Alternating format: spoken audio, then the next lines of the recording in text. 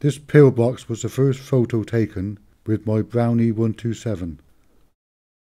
Between 1957 and 63, we went to Brean Sands for a holiday. We all stayed in a 12 foot caravan. There were seven of us, some sleeping on the floor, and there was no inside toilet.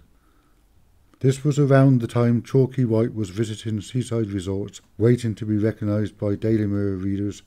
Anyone who recognised him would have to say something along the lines of, To my delight is Chalky White, to win five pound.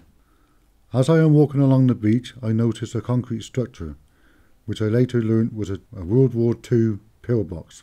Now, this was 1957 time, so me and my brother had a, a Kodak Brownie 127 for Christmas. If I remember right, there was only eight photographs on each film, and we used to jump underneath the bedclothes to try and change the film.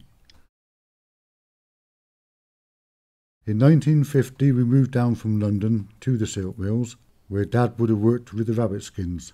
We lived in a house next to the River Avon, where the water would have ran underneath the house from the hatches, around the back, to drive the water wheel.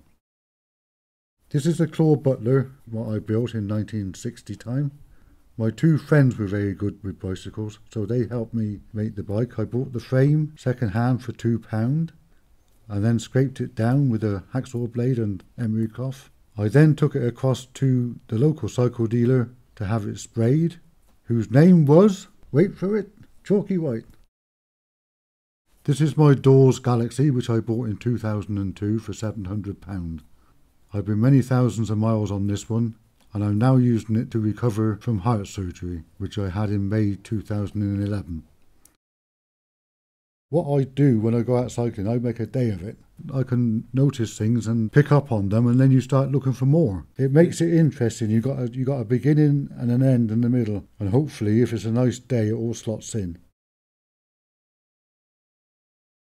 As I'm cycling towards Oare, we have the Alton Barnes White Horse on the left hand side. We then go along a bit further, which takes you into Rainscombe Park, where the event is held, where we have photographs of the horses and the steam plough. I'd like to go back to Brean Sands and see if the pillbox is still there.